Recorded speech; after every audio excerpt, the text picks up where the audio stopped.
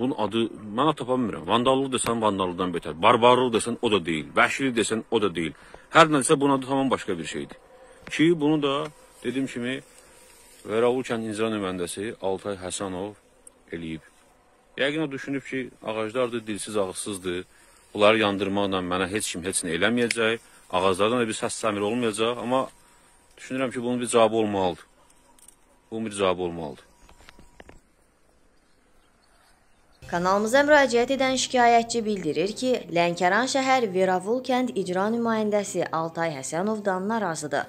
Əlavə edir ki, 2019-cu il Nəsimi ilə olması ilə əlaqədar Heydər Əliyev fondu tərəfindən ağac əkmə kampaniyası keçirildi. Lakin icra nümayəndəsi ekologiyaya zərər vuraraq ağacları yandırmaqla məşğuldur. Deməli bildiyiniz kimi 2019-cu ilin Nəsimi ili elan olunmuşdu. Bununla əlaqədar ölkəmizdə 600 minə, yəni Nəsimi şair Nəsiminin 600 ili ilə əlaqədar ölkəmizin arasında 600 minə yaxın, daha doğrusu tam 600 min civarında ağac əkildi. Yaşıllaşdırma sahəsində ciddi işlər görüldü. Bunu da həyata keçirən Heydər Əliyev fondunun deməli dəstəyi ilə bir də Leyla xanım Əliyevanın dəstəyi ilə olmuşdu. Amma hal-hazırda gördüyümüz mənzərə isə tam bunun əksini deyir. Ölkəmizdə bu cür sürətlə, intensiv şəkildə aparılan yaşıllaşdırmanın əleyhinə biz tamam başqa mənzərə görürük. O mənzərənin ki, indi siz bu yazıq, dilsiz binəvi ağacların yanmış vəziyyətini görürsünüz.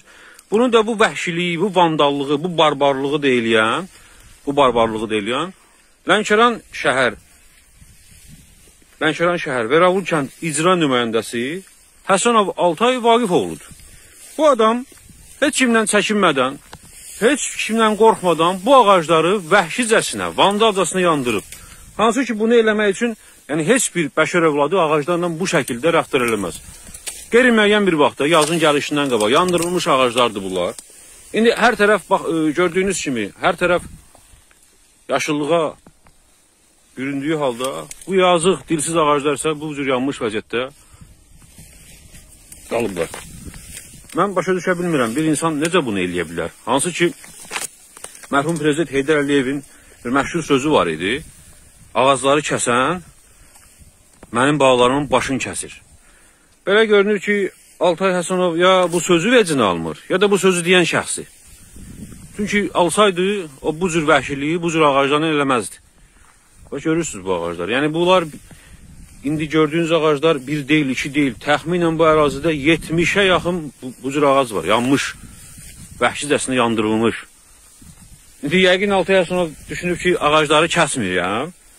Ya, yandırıram. Vəziyyətdən bəlkə də bundan çıxmaq istəyir. Mən anlaya bilmirəm. Necə ola bilər? Dünyada bu ağaclara, ümumiyyətlə meşələrə, ağaclara, meşə massivlərinə planetin ağciyərləri deyilir. Yəni nəfəs orqanları. Belə çıxır ki, Altay Həsənov bu kəndin, bu ölkənin nəfəsini kəsənlərdən biridir. Bu məntiqlə nəfəsini kəsməyə çalışır. Yəni, heç kimdən qorxmadan, çəkinmədən, belə görünür də, yəqin o belə hesab edir. Görürsünüz, baxın, görürsünüz bu ağacları. Bu yazıq ağacların nə günahı vardı ki, bunları götürüb bu cür yandırasınız. Təxminən artıq Bura gəlincəyə qədər mən ona yaxın belə ağac çəkmişəm. Hələ bunun bir 4 misli, 5 misli qabaqdadır. Bu ağacların nə günahı var idi? Nə günahı var idi bunların? Bax, görürsünüz, qurumuş ağaclar, hər tərəf yaşıllıq içərisində, amma bu ağaclar quruyub. Bax, söz dediyimiz kimi, bu həmən ağacların bir hissəsi. Hələ bunun bir xeyli də qabaqdadır. Uşaq vaxtı ibtidai sinifdə oxuyanda, məktəbdə oxuyanda bizə həmişə bu ağac əkməyi, yaşıllığa hörmət etməyi, onları sevməyi öyrədirdilər. Yəni uşaqlıqdan məktəblərimizdə bu tədris olunur. Mənim başım çıxmır, anlamıram. Bu ağacları yandıran vəhşilər hansı məktəbdə, harda oxuyublar, necə bu vəhşiliyi eləyə biliblər? Bunlar ümumiyyətlə bu sözləri eşitməyiblər bu 11 il təhsil aldığı müddətdə. Yəni bir insanın əli gəlməz, heç bir insanın əli gəlməz. Bu ağacları götürüb bu vəziyyətə salasın. Baxın. Sabirin şeiri yadıma düşür. Bizdə soyuq qanları neylərdin ilahi. Doğrudan bu vəhşiliklə insanlar nəyə lazımdır yer üzündə? İnanıram ki, bunun cəzasını Allah verəcək.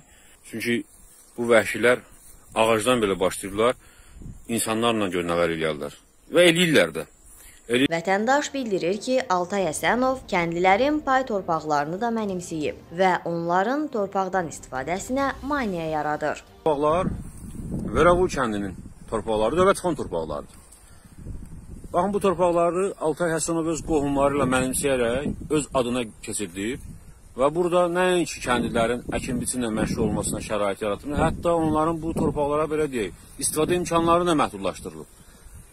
Belə ki, prezidentin göstərişi var, bilirsiniz ki, bir torpaq sahəsi ki, kəndi tərəfindən 5-10 il ərzində istifadə olunarsa, həmən kəndinin özü ilə müqavilə bağlanaraq təzədən onun istifadəsinə verilir. Amma Altay Həsənov bu müqavilənin şərtlərini, ümumiyyət- ümumiyyətlə bu müqaviləni haqqında kəndliyə heç bir söz demədən bu torpaqları mənimsəyib. Yəni onunla belə bir müqavilə bağlamayıb, ona belə bir müqavilənin olduğunu deməyib, təklif etməyib. Qiyməti 11 manat 50 qəpik civarında olan torpaq sahələrini rüşvət müqabilində, yəni 200, 250, 300 manat rüşvət müqabilində mənimsəyərək başqa şəxslərlə müqavilə bağlayaraq onların istifadəsinə verilib. Hansı ki, bunlar hamısı Veravul kəndinin istifadə etməli torpaqlar olduğu halda bunlar bir qrup adamlar tərəfindən istifadə olunur. Əməlli başlı xaos, anarxiya, feodalizm.